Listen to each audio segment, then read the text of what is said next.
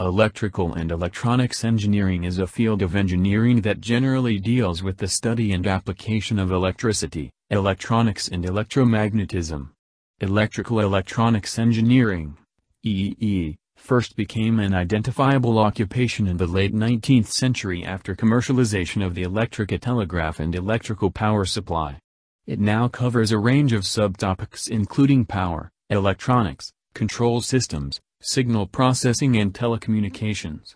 Electrical and electronics engineering is an engineering discipline where nonlinear and active electrical components such as electron tubes, and semiconductor devices, especially transistors, diodes and integrated circuits, are utilized to design electronic circuits, devices and systems, typically also including passive electrical components and based on printed circuit boards. Electrical engineering has now subdivided into a wide range of subfields including electronics, digital computers, computer engineering, power engineering, telecommunications, control systems, radio frequency engineering, signal processing, instrumentation, and microelectronics.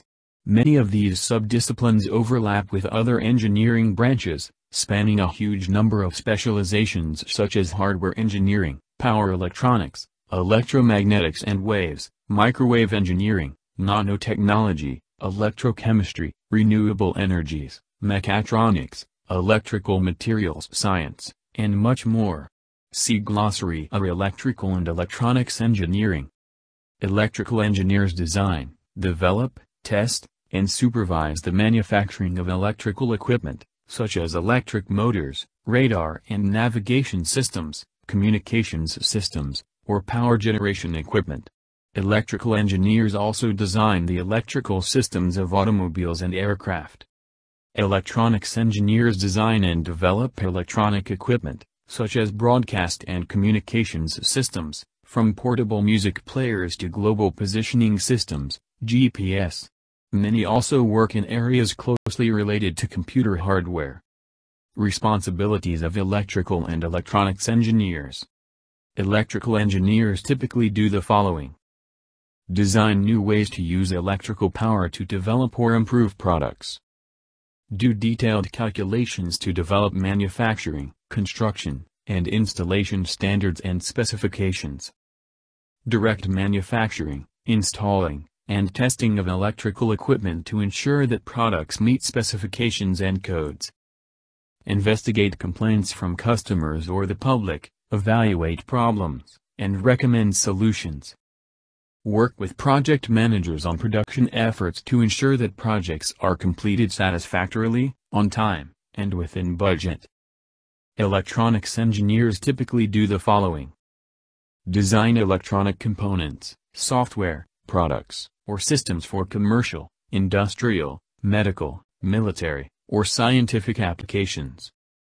Analyze customer needs and determine electrical system requirements, capacity, and cost to develop a system plan. Develop maintenance and testing procedures for electronic components and equipment. Evaluate systems and recommend design modifications or equipment repair. Inspect electronic equipment, instruments, and systems to make sure they meet safety standards and applicable regulations plan and develop applications and modifications for electronic properties used in parts and systems to improve technical performance. Electronics engineers who work for the federal government research, develop, and evaluate electronic devices used in a variety of areas, such as aviation, computing, transportation, and manufacturing. They work on federal electronic devices and systems, including satellites, flight systems, radar and sonar systems, and communications systems.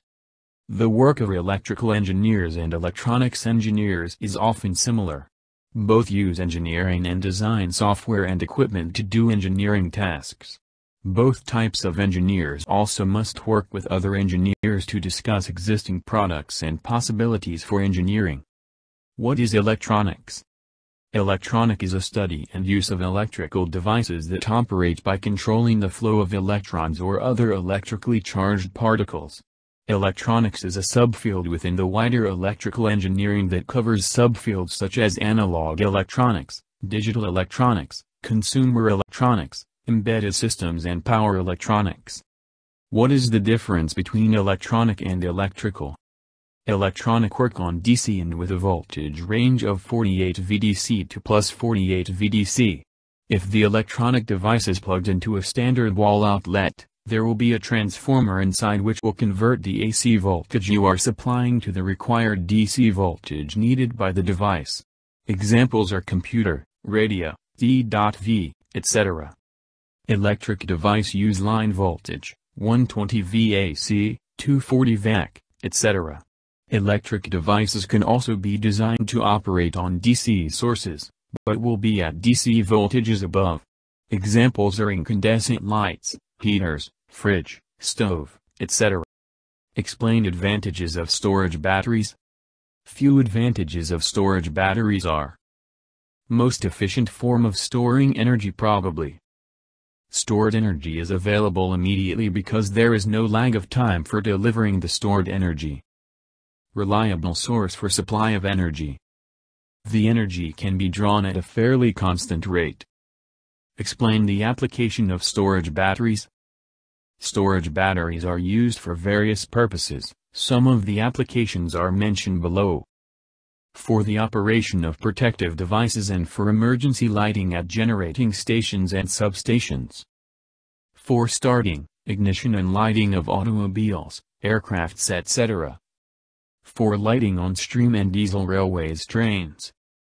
As a supply power source in telephone exchange, laboratories and broadcasting stations. For emergency lighting at hospitals, banks, rural areas where electricity supplies are not possible.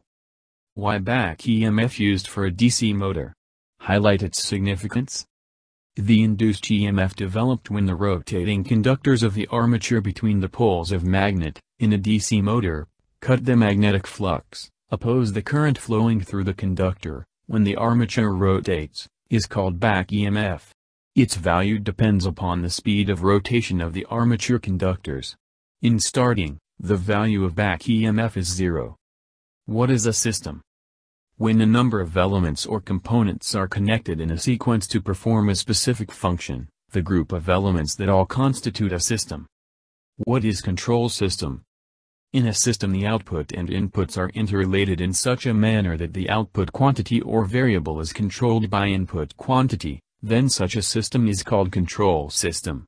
The output quantity is called controlled variable or response and the input quantity is called command signal or excitation. What are different types of control systems? Two major types of control systems are Open-loop control system Closed-loop control systems Open-loop control systems The open-loop control system is one in which the output quantity has no effect on the input quantity. No feedback is present from the output quantity to the input quantity for correction. Closed-loop control system The closed-loop control system is one in which the feedback is provided from the output quantity to the input quantity for the correction so as to maintain the desired output of the system. What is latching current? Gate signal is to be applied to the thyristor to trigger the thyristor on in safe mode. When the thyristor starts conducting the forward current above the minimum value, called latching current, the gate signal which is applied to trigger the device and no longer require to keep the SCR in on position. What is holding current? When SCR is conducting current in forward conduction state, SCR will return to forward blocking state when the anode current or forward current falls below a low level called holding current. What is the difference between holding current and latching current? Latching current and holding current are not same. Latching current is associated with the turn-on process of the SCR whereas holding current is associated with the turn-off process. In general holding current will be slightly lesser than the latching current. What is meant by knee-point voltage?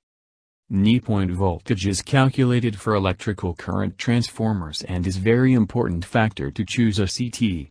It is the voltage at which a CT gets saturated. CT current transformer. What is the difference between generator and alternator? Both generator and alternator work on the same principle they convert mechanical energy into electrical energy.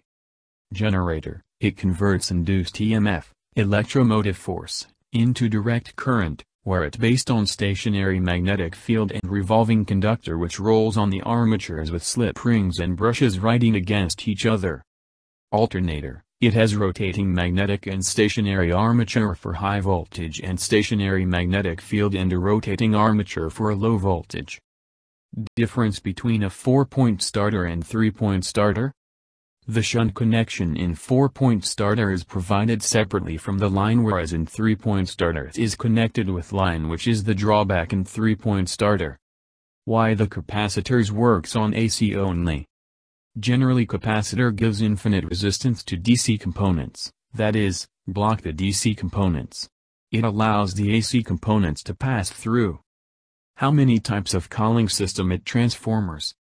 ONAN, oil natural, air natural. ONIF, oil natural, air forced. OFAF, oil forced, air forced.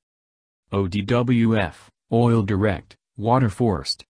OFAN, oil forced, air forced. What is the principle of motor?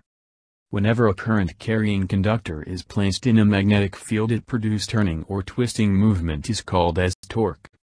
What is two-phase motor? A two-phase motor is a motor with the starting winding and the running winding have a phase split. Example is AC servo motor. Where the auxiliary winding and the control winding have a phase split of 900. What is Marx circuit? It is used with generators for charging a number of capacitor in parallel and discharging them in series. It is used when voltage required for testing is higher than the available. Subscribe to our channel. Interview Gig. Visit our website for more articles and interview questions and answers. www.interviewgig.com. Like, share and comment. Don't forget to click the subscribe button. Click the bell button for latest updates.